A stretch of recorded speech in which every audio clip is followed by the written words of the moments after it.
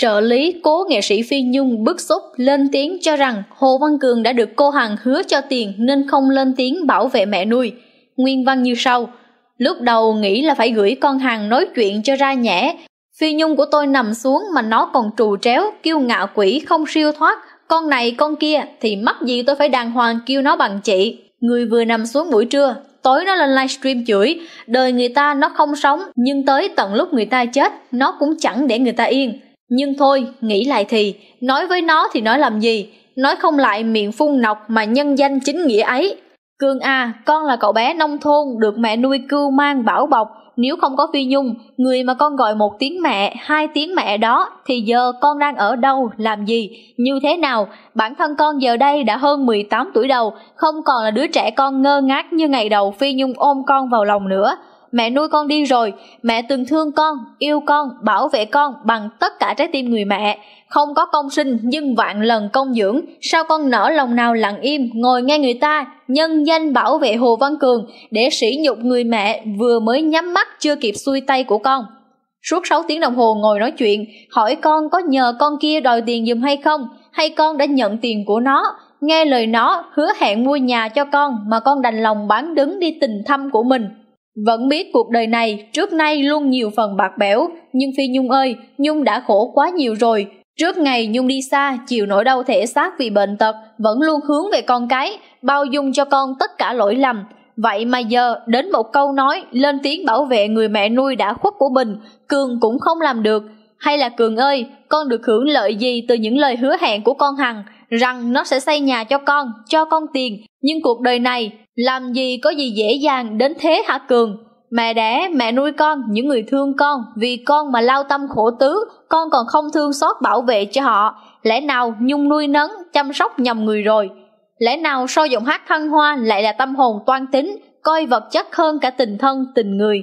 Cường ơi, con đã nghĩ kỹ chưa? Con đem bán người mẹ nuôi mình bao năm, giờ mới vừa chưa kịp ngủ yên. Cho bọn nó để lấy chút lợi lộc, con còn là cậu bé dễ thương ngày nào nữa không Cường ơi? Con CEO khóc thuê kia cũng không cần phải khóc thuê đòi mướn giùm, có bản lĩnh thì đi đòi hai trăm mấy tỷ cho trai đi. Giờ còn ai tin lời mày hứa nữa? Mày đòi cạo đầu mà mày làm chưa? Mày nói đi đầu xuống đất, sao mày không làm? Còn nhiều lời hứa lắm, mày lo mà làm đi. Nhà này không cần mày phải khóc than, tru tréo, đoạt địa ngục hay lên thiên đàng. Con khùng thế kỷ ngàn năm có một, một trong 23 con nuôi Phi Nhung lên tiếng bảo vệ mẹ dưới ồn ào ủy quyền đòi cách xe của Hồ Văn Cường. Phi Nhung đã ra đi nhưng vẫn có hàng loạt ồn ào xoay quanh mối quan hệ và cách xe với Hồ Văn Cường. Suốt một ngày qua, mạng xã hội xôn xao trước thông tin Hồ Văn Cường bị cựu người mẫu Trang Trần đến nhà tra khảo về số tiền nữ CEO nghi được ủy quyền đòi nợ giúp. Dù đã là nửa đêm trên sóng livestream, Trang Trần liên tục đặt ra những câu hỏi cho Hồ Văn Cường và mẹ cậu bé. Cường có ủy quyền, nhờ vả hay trông cậy vào nữ CEO đòi nợ dùm hay không. Điều này đã gây nên luồng tranh cãi dữ dội. Đến sáng ngày 10 tháng 10, quản lý Phi Nhung lên tiếng khẳng định khi nhận nuôi Hồ Văn Cường, cố ca sĩ Phi Nhung chỉ tạo điều kiện để con nuôi đi học đầy đủ, phát triển năng khiếu. Do đó Phi Nhung không liên quan đến tiền cách xe của Hồ Văn Cường. Ngay lập tức thì Ngân, một người con nuôi khác của Phi Nhung đã chia sẻ lại bài viết và nhắn nhủ. Mẹ của con hãy yên tâm nha, cả nhà lúc nào cũng sẽ bảo vệ mẹ, bảo vệ gia đình mình, yêu mẹ lắm.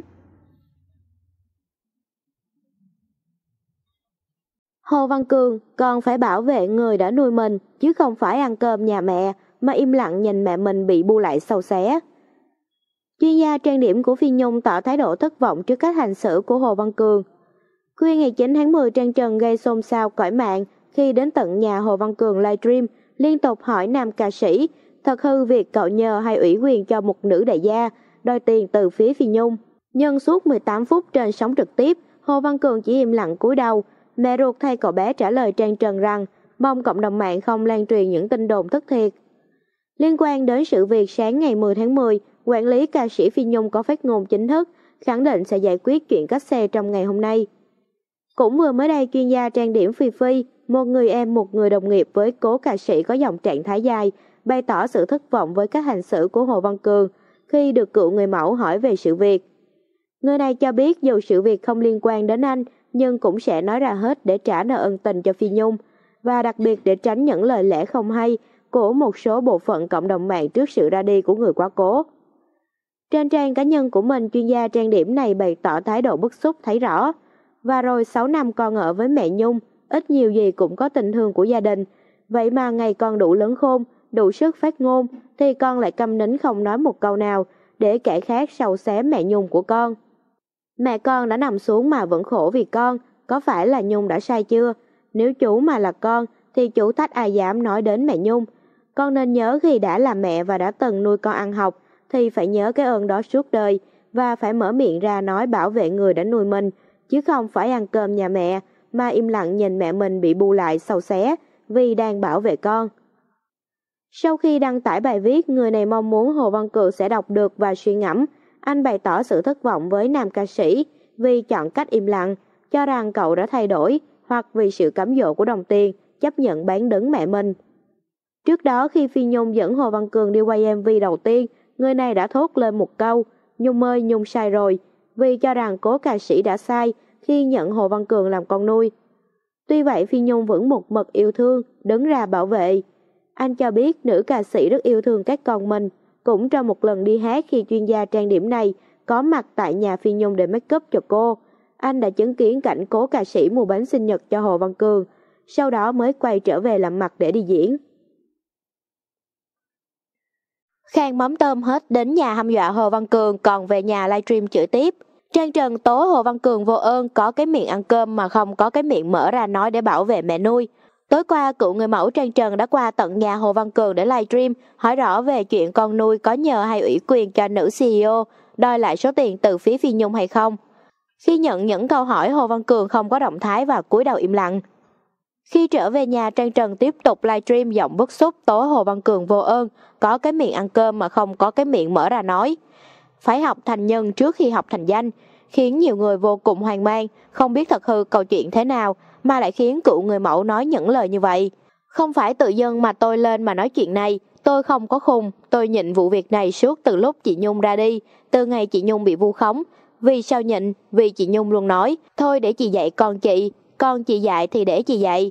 Nhưng đến lúc chị Nhung ra đi, vẫn bị người ta nói này nói kia. Tôi đâu có nói gì đâu, tôi chỉ nhờ con trả lời một câu mà giữ thái độ im lặng. Con người ta nói sống là phải biết ơn nghĩa, còn nói tôi ăn hiếp thằng nhỏ thì tôi làm gì ăn hiếp, làm sao mà nói con nít, con nít ranh thì có. Trước khi quay cuộc trò chuyện đó đã ngồi nói chuyện hơn 5 tiếng đồng hồ, có cái gì mà không nói được, chỉ nói là có hay không thôi, tôi không có hồ đồ khi phát ngôn điều gì. Một người con mà để mẹ mình bị oan suốt bao nhiêu tháng mà không mở miệng để bên mẹ, trong khi cái chuyện tiền bạc gia đình, ba mẹ đều biết là bao nhiêu, mẹ cũng nói là để chị Nhung giữ, rồi hết 18 tuổi mới tính tiếp. Mọi người nghĩ đi, 200 triệu tiền thưởng đó của Hồ Văn Cường chắc to quá hay sao, mà phải ăn chặn. Chị Nhung đi hát vài show là có 200 triệu, mắc gì phải làm trò đó. Những ngày trước tôi bên Hồ Văn Cường thì không muốn mọi người chửi, nhưng hôm nay là không bên vật được nữa rồi, không thể nhịn được. Suốt bao nhiêu tháng không lên tiếng, đến khi chị ra đi ngày nào cũng bị đòi tiền, mà không có một lời bảo vệ mẹ. Con người phải biết ơn, vô ơn là không được rồi. Có cái miệng ăn cơm mà không có cái miệng mở mồm ra là như thế nào? Cựu người mẫu Trang Trần gay gắt chia sẻ. Trước câu hỏi của một số cư dân mạng Trang Trần lấy từ cách gì đến nhà Hồ Văn Cường, cựu người mẫu thẳng thắn cho biết, tôi lấy từ cách là một fan hâm mộ của chị Phi Nhung để hỏi. Tôi muốn cho những ai yêu thương Cường biết được bộ mặt thật của nó. 6 năm trời ăn ở trong nhà chị Nhung mà giờ lại đối xử như vậy. Hiện những chia sẻ của Trang Trần đang có khá nhiều ý kiến trái chiều, một số đồng tình với cựu người mẫu, một số khác lại cho rằng Trang Trần không được phép livestream công khai, đặt câu hỏi dồn dập Hồ Văn Cường.